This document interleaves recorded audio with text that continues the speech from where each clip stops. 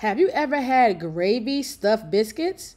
Yeah, me either. But let's get into this gravy stuffed biscuits. Yes, it's pretty much as biscuits and gravy, but in a stuffed form. Let's get to it. Ooh, I'm going to chemist. You know she got plenty, plenty food for me to eat. Mommy, will you make it again? For a good biscuits and gravy, you don't need much. You need some good old sausage. Jimmy Dean. Yes, I said Jimmy Dean.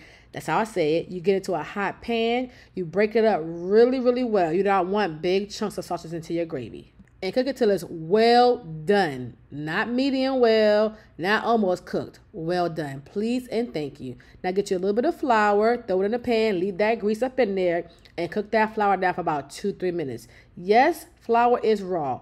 Yes, you're not supposed to eat raw flour. So cook the flour down for about two, three minutes. It get a little bit brown, but it's not regular gravy, so don't need to be that brown. Once the flour is cooked down pretty well, go ahead and add in some milk. Whole milk. That's all you need to this. You can add heavy cream if you want to, but I feel like milk does it way more justice than heavy cream.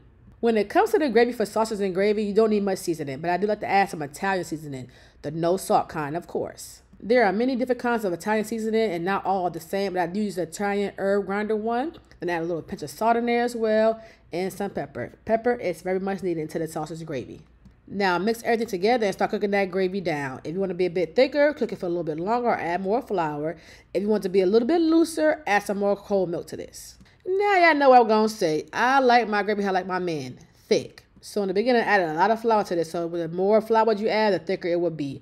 Cook it down for about three, four minutes on medium low heat and look at that beautiful gravy right there. If it's too thick, like I said earlier, add a little bit more whole milk to it. It'll be okay.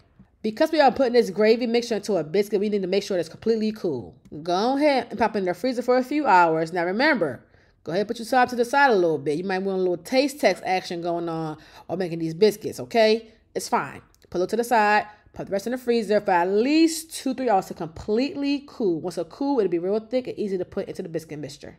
Let's get to making these homemade biscuits. Yes, you can buy the grands, but baby, we are grown around here. Biscuits are not that hard to make. All you need is some all-purpose flour, some buttermilk, some real butter, salt, baking soda, baking powder, and some sugar. Get you some real cold butter. You can grate it, but I like to cube mine. I like to have pockets of butter in my biscuit. So I had go ahead and cube yours to small little cubes. Put it back in the fridge for about a few minutes because after working with butter, it will get a little bit of soft on you. Once you break it up to little cubes, put it into the biscuit mixture, and baby, it will be flaky and have buttery pockets all through the biscuits. While that's in the fridge, go ahead and get all your dry ingredients together. Always add your dry ingredients together first.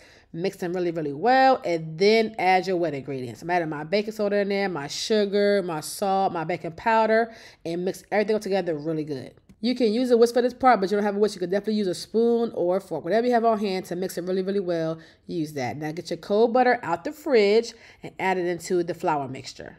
You can use a pastry cutter to cut the butter into the flour, but I like using my hands. But your hands, you can definitely feel how big the butter pieces are. You want them to be like a piece-sized piece, not too big, not too small. And with your hands, you just have more control. Now your hands can get a little bit on the warm side, so don't do too much. Put it in the fridge if you need to to get it back cold because you do not want it to melt before you put it in the oven. Once I got the butter off looking like I needed to be, I went ahead and got my cold, very cold buttermilk and I poured it into my flour mixture.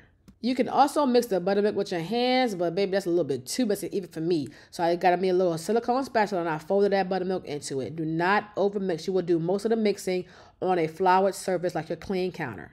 We are just using the spatula to get the dry ingredients and the wet ingredients combined. You see how you can still see the chunks of butter in the flour mixture? That is what you want. Don't look perfect? For regular biscuits, we would take this out, put it on a flour surface and knead it some more and shape it to the shape we need for the biscuits. But because we are doing stuffed biscuits, we're not going to do all that part. You can still put it on the flour surface and knead it, but you really don't have to.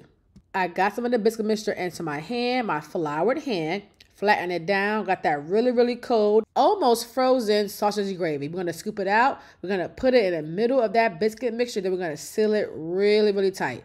As tight as you possibly can. If you need to add more biscuit mixture on top, just do that. You can start off small. I did make some pretty big biscuits. Yeah, they're pretty huge, but like me, I like everything big. Whoa.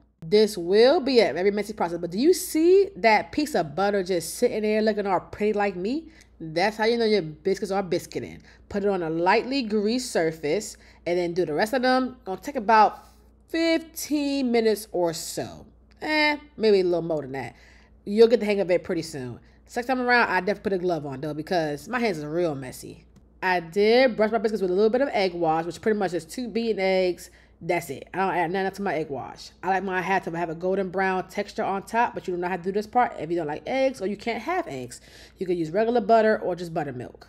Pop it oven on 450 for about 15 20 minutes till it get nice and brown on top. Like who? Like us and like me. I got about six biscuits with this mixture, but you probably have more. And you got boom, stuffed biscuits and gravy. See, I brush mine with a little bit of garlic and herb butter because I'm grown, but you don't have to do that part if you don't want to. You can use regular butter, but it's gravy and biscuits, not jelly and biscuits. So throw a little garlic and herb butter on top of there. Go ahead and bust that thing up like your mom was doing that Freaknik 99. Then go ahead and add a little more gravy on top if you need it. If you don't, baby, just bite into it and look at this bite right here. Ain't that so pretty like who? Like me. You gonna change the brunch game forever for this one. I love y'all. All right, bye.